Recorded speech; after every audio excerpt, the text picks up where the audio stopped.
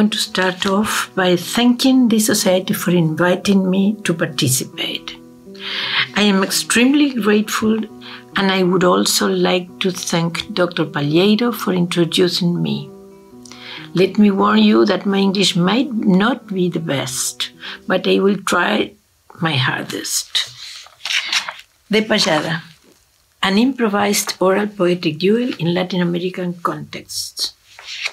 The improvised poetic duel phenomenon is shown to us across a huge geographic dissemination and a great time depth. Nowadays, it can be found all over the world with different degrees of popularity and generally sung.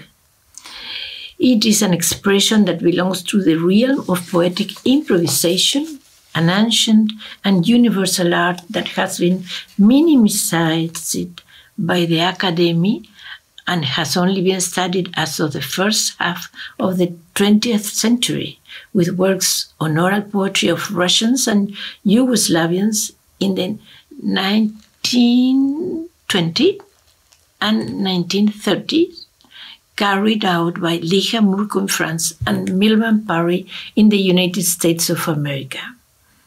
In such a broad spectrum, Iberoamerica displays a wide variety of expressions both in the secular and religious world, as well as in the forms of isolated phenomenon or as part of ceremonies, games, popular celebrations, commemorations, outdoor performances, and so on. On this particular occasion, we will refer to the improvised poetical duel sung as a unique and isolated phenomenon, accompanied by stringed instruments widely disseminated and rooted throughout the region. Depending on the country, this genre adopts different names as well as different musical styles, structures, and contents. We will start by focusing on the case called Payada or Payada de Contrapunto, specifically found in Argentina, Chile, and Uruguay.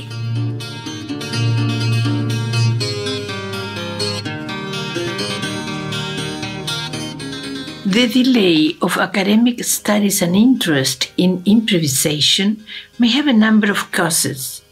Undoubtedly, one of the most relevant is the scarce interest that popular manifestations have had in general, particularly those whose primary mode of transmission is based on oral tradition and whose core element is not memorization or repetition, but rather improvisation and innovation. These are the consequences of the establishment of the cultural historical school throughout the Western world. This school encouraged finding the purest version of traditions by exercising memorization and repetition. Studies in Latin America began in 1990s, mainly driven by the repentist poets, those that improvise, improvise their poems, who gradually became aware that they were part of a common phenomenon as Inter-American gatherings or contests were held between poets from Europe, usually Spain, and Latin America. It's it is noteworthy that both Spanish and Cuban scholars, as well, as well as poets, made great efforts to implement these activities, and names as Maximiano Trapero from Spain and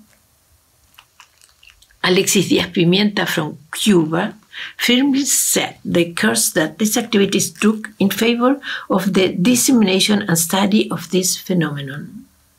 In all these countries, the sung poetic duel used free verse and later adopted different strophic systems with a preference for two types of stanzas.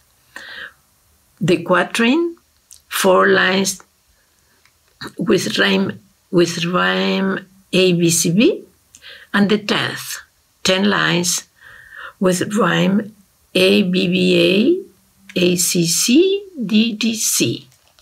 Both are strophic models with eight syllable lines and assonant rhyme, highly characteristic of the Spanish language. It should be noted that unlike English poetry, which measures poetic lines by metric feet, Spanish poetry measures poetic lines by syllables. Over time, the death would become prevalent throughout Latin America. At the same time, the payador changed his life from being a rural roving bard, wandering in search of an opponent, similarly to the European minstrels of the Middle Ages, to becoming a stage performer. He entered through the outskirts of cities, participating in festivals and celebrations, thus gaining great recognition for their art. From the beginning of the 20th century, as they gradually joined the cultural industries, the payador captured new audiences without drifting away from his rural origins. With time of greater or lesser visibility, this art gradually took root and developed its own particular form, adapting to the context and environment. It assumed multiple roles or amusing or entertaining, expressing opinions, disseminating ideas, provoking reflection or hilarity, exciting, recalling, or summoning. These performers actively participated in independence wars, political life, and social conflicts of their respective countries, generally placing themselves close to the most unprotected and vulnerable populations, forming a type of popular poetic art of great recognition, distinguished by its improvised nature, which had its greatest development towards the end of the 19th century and the beginning of the 20th century in the countries we will refer to. The payada, or paya, as it's known in Chile, is currently considered a residual phenomenon that has sometimes been marginalized and even chased, resulting in a self referential and deeply evocative song. It has undergone a process of crystallization, retaining terms used in rural speech and also some specific musical genres, such as Chilean verse, which still retains significantly dated traces. We refer to the psalm like style and characteristic of its melody, and to the so called guitarrón, an instrument dated back to the European Renaissance. This instrument is a 25 string chordophone with a complicated playing technique, with part of its string in wire and four untuning strings, which gives it a very particular tone color. Lately, it is being replaced by the seven string guitar, the Spanish guitar version so widespread in Latin America. Both the payada and the paya have a three stage structure consisting of A. The introduction, in which the poets introduce themselves or greet the audience mentioning the place or the context. B. The core being the challenge itself. And C the ending, which leads to the conclusion of the contest and when each poet generally mentions their own name. This structure is widely spread among improvising schools worldwide, where this type of discursive genre is practiced, and it can be narrative, descriptive, expository, argumentative, depending on the development of the event and on the context. This three stage structure was reached after this song struggled to survive in the face of the arrival of new musical genres, innovative forms of entertainment, and the mass media, all of which subjugated all aesthetic, aesthetics and ways of life and entertainment.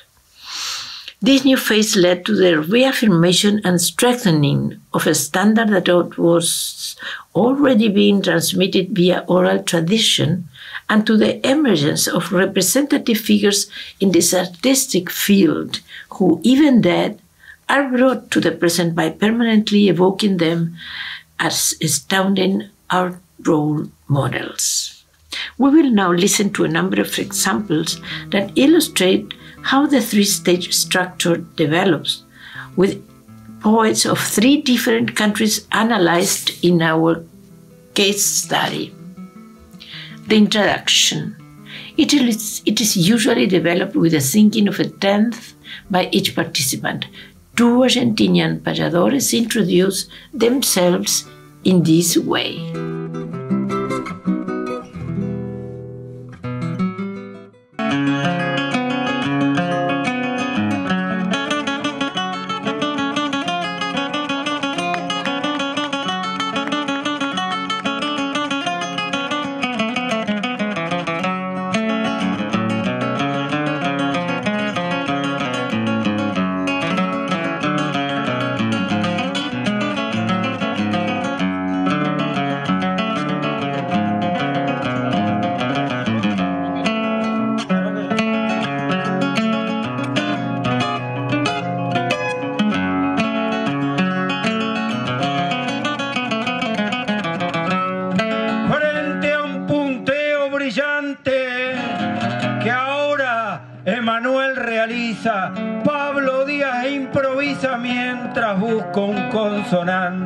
Público, perseverante, yo los quiero saludar. Para mí es un gusto estar y agradecerles. Quisiera, está de fiesta en Herrera la cultura popular.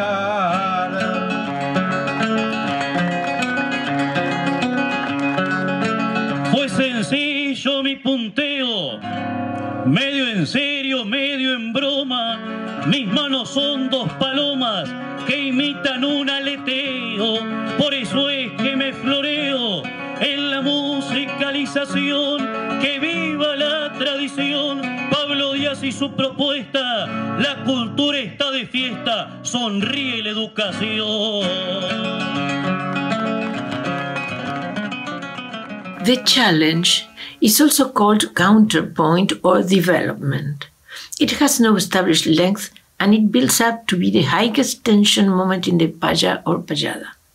The challenge can be performed from antagonistic positions that have to be supported and defended, for example, God and evil day and night, or through a dialogue in which both payadores discuss their respective viewpoints without confrontation. Opposition duels are the most common. This is the moment when the payador will have to display their best skill as an improviser poet. Those master while learning from senior colleagues, stimulating further readings, enriching his vocabulary, seeking practice with valuable peers, sharpening their observation skills, briefly, with while growing. In this intermediate phase of the payada, though some already disappeared, different styles can be found so that the duel may become more attractive. In early days, the style known as questions and answers was widely used, which was also present in, an, in other past and current improvisation traditions. I will now read two quatrains in Spanish that were extracted from the tradition in order to illustrate the type of humor used. Venite para acá, muchacho, ahorita has de responder. ¿Cuántos pelos tiene un gato cuando acaba de nacer? La pregunta que me ha hecho se la quiero responder. Si no se le cayó ni uno, toditos ha de tener. The farewell occasionally exceeds two tenths, each one performed by a payador. They may appeal to the topic discussed, greet the audience, their partner, and finally mention their own name. This last section comes from very old times in Western improvised poetry, and it is used as a means of circling back and endorsing was developed during the counterpoint itself. We will listen to how Manuel Sanchez from Chile playing a guitarron and Jose Curbelo from Uruguay playing his guitar close their payada.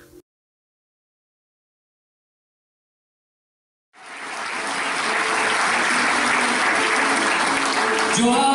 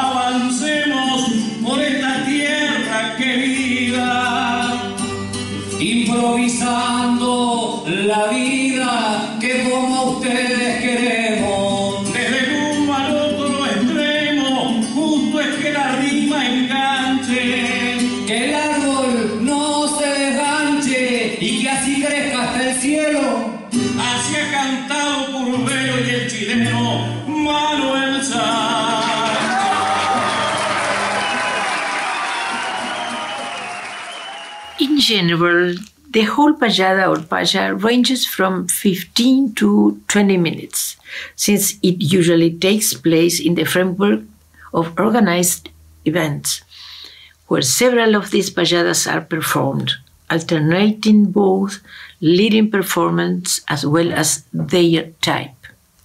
It is always an act of artistic performance that displays an ingenious mode of communication before an audience able to evaluate their skills and efficiency. Bauman, 1994. This implies a number of shared artistic and ethical codes which are expressed and interact. Moreno Cha, 1997. The American theater director Richard Schechner in his work entitled Between Theater and Anthropology, where he reflects on his vast experience in different scenarios in the Eastern and Western world, defined a sequence of seven stages for theatrical performances, which we also find among the payadores in connection with their artistic activities. Training. It is generally produced during the payador's training stage, during their youth, and consists of practicing improvisation in their leisure time. Many do so orally, others in writing. Another aspect of this stage consists in the encouragement of reading as a means of acquiring knowledge and broadening their vocabulary. Workshops. In this country, the most common training method was through the observation of the general rate figures rather than through direct and systematic contact with an experienced payador. Workshops on improvisation have gradually appeared over the last 20 or 30 years, while in other regions such as the Caribbean, for instance in Venezuela or in Panama, this practice has been in place for more time now, and in some cases it has been institutionalized as in Cuba. Rehearsal. It basically consists of the tuning and, of the instruments and the sound test when acoustic amplification is needed. Warm up. This part is very personal and varying according to each payador's choice. Some of them will play their instruments to warm up their fingers. Others will think of ideas to develop or discuss during the performance. Others will agree with their partner on the topics to be discussed and the type of stanza they will use, and so on. Performance. It includes the act of performance itself, currently framed in the middle of complex shows that include other activities, either musical or not. Performance. Cool down. It includes all the attitudes that will guide the payador back from his fictional life to his ordinary life, trying to reduce the stressful circumstances generated by the payada. This may consist of dressing up, putting the instrument in its case, smoking or drinking, greeting colleagues and the audience, etc. It's also common for them to participate in a meal with all those who have taken part in the event. Aftermaths. Concerning this artistic activity, there are short term aftermaths, such as interviews for the press, the radio, or the TV, that are carried out immediately after the performance, and also journalist interviews or academic papers that may appear later on. This is the sequence of the ritual action of the payada or paya. According to Schechner, we face a performance similar to that in Western theater, when the actor is transported transported to another situation from where he returns later on the settle in his ordinary mundane reality. During the performance, they represent themselves as artists in the field of poetry and music, thus playing their own role. But the concept of becoming a payador is so strict that in order to be accepted as such, one must prove the ability to perform a counterpoint payada in the presence of peers and audience. This is the most demanding step, and the moment referred to as baptism by some payadores in Argentina, in a clear reference to the Christian event that marks the admission to a new status. Only then will they have entered this realm, bearing some emotional empathy, which they will develop by displaying the skills related to poetic repentism, memory, rhetorical ability, and many others. The most attractive element for the audience is a poetic duel that involves determine, determining who is the best, the fittest, a factor at the core of the competition, the confrontation. The history of this discursive genre has been very diverse, and its ability to adapt to different contexts and times over the centuries has been invaluable. While in Argentina and Uruguay the payada has kept certain structural stability, in the neighboring country, Chile, new ways of excelling this poetic tradition has been sought, whilst preserving its competitive nature as well. This happened in this in the 1980s when some popular musicians and poets gathered as a response to the risk of extinction. The most innovative feature was incorporation of the audience in certain games, having concerts with several performances on stage at the same time. The poetic challenge had found new pathways and the sequence was different for each game. The stages of presentation and farewell were over, as well as the research provided by the questions and answers. Changes were made in the intermediate phase. The following resources were added forced foot, a specific line of words that the payador is obliged to introduce in a stanza, and personification, whereby the payador adopts the role of a well known personality, and speaks on this behalf. The following example of personification shows the payador Pedro Yáñez representing the Nobel Prize in Literature, the Chilean Pablo Neruda, in counterpart with another payador.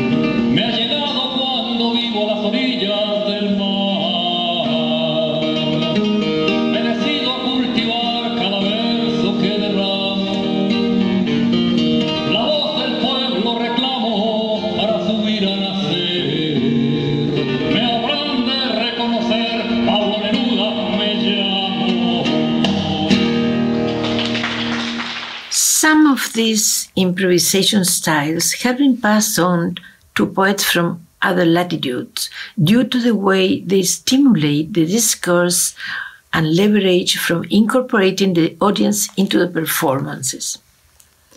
As we can see, the poetic challenge of the region in question has conquered different styles. Some of them are more narrative, other more descriptive, other more argumentative, bearing a greater or smaller dialogic nature. Each one proceeds along with the sequences established by the standards and the tradition of the genre itself, adopting a typical custom depending on the context where, where they are, and also incorporating a regional rural lexicon, formulas, and proverbs known to all. Although there are numerous common features between the phenomenon of the improvised duo, duel as it is performed in Chile and Argentina, Uruguay, we must point out that the tradition that has framed them to date has been different and they emerge in the Latin American scenario as two differentiated schools. In the case of the Chilean payador, they come from the so-called canto a lo poeta. In other words, poet like singing a poetic musical expression active throughout the central region of this country. The tradition of Chilean popular poetry perceives this sphere as divided into two great realms, distinguishing between singing to humans and singing to the divine, as it was performed in medieval Spain whereas the payador singing is an expression of the singing to humans. The Chilean Paya shares with the School of the Rio de la Plata its traits of poetic controversial duel, and it has followed a more or less similar development. The great difference is that the Chilean expression was taken with enormous interest by the academic milieu. This was key to achieve institutionalization and survival, gaining greater dissemination and appraisal of this art in the most diverse environments. The tradition of improvising poetry in the region of the Rio de la Plata and surrounding areas, namely Argentina and Uruguay, is immersed in the sphere of traditionalism.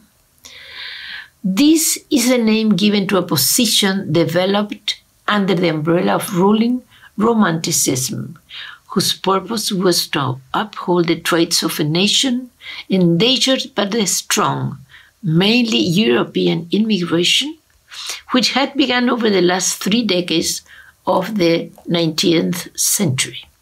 It was a reaction that set off by trying to revitalize elements belonging to its heritage in order to oppose coming changes.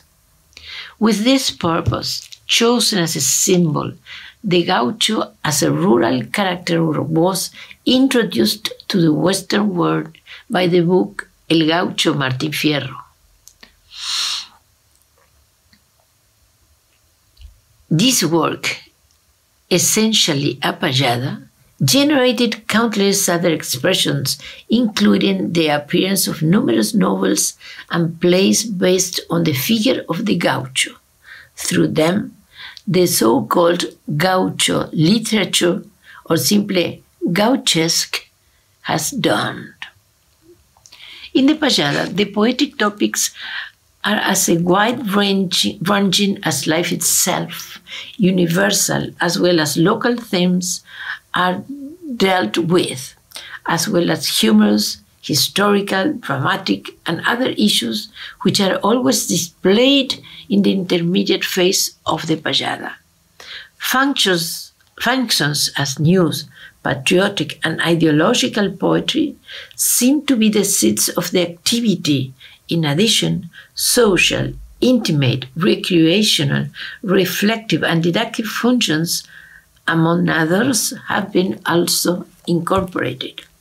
The appearance of the female figure performing this popular art, traditionally being performed by men, has brought about new themes such as love, motherhood, and family, as well as a more intimate and sensitive style. A great example is the Argentinian Marta Suint, who is the most outstanding payadora of the region.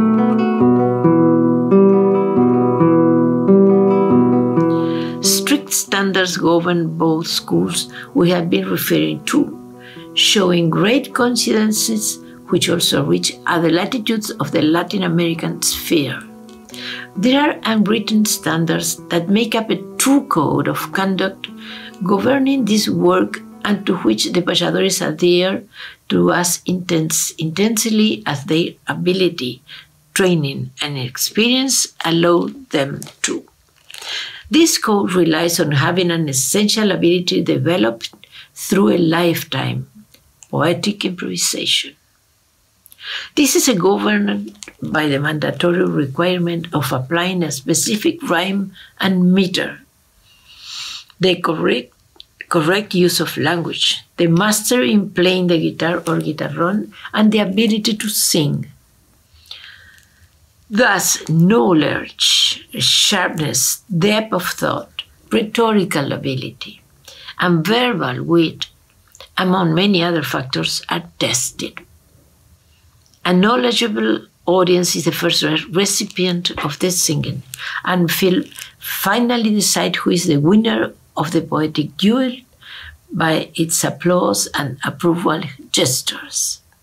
The improvised poetic discourse is supported by the musical discourse to which we have not yet considered two. And in this regard, these two schools we have referred to provide different styles. In Chile, there are a number of melodies transmitted orally that are commonly used and known by all. In turn, each person may improvise his or her own lines on them. These melodies, generally called intonations, strictly belong to the realm of canto a lo poeta, poet like singing. And there are preferences as to which to use according to their function and context in which they are performed. This is the highest degree of poetic improvisation in which, without any pause, ten line stanzas are uttered without any instrumental interlude. Unlike other repentist traditions, some payadores display great speed, making difficult to follow their timing in international gatherings of repentist poets, both Argentinians and Uruguayans are renowned for it, as well as for their ability to argue with forcefulness. The quintessential payador is the one who has made a way of life out of, this, of his art and understands the challenge as a ritual in which some of the, his greatest values are at stake prestige and excellence.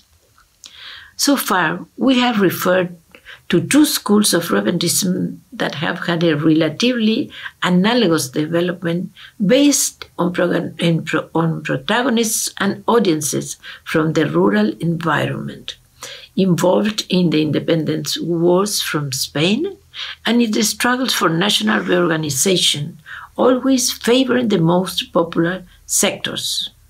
They have conquered urban audiences while penetrated the mass media and have become paid popular artists.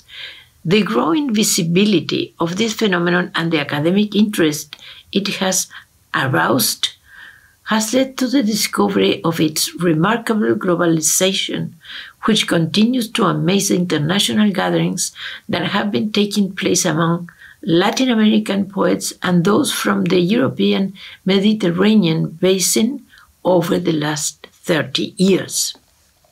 Since early colonial times, in their long and complex pathway, the payadores have evolved from being wandering bards generally illiterate people improvising without any meter or rhyme, to becoming popular artists who turn to writing, educating, and training their audiences, combining their knowledge and abilities, developing their own type of show.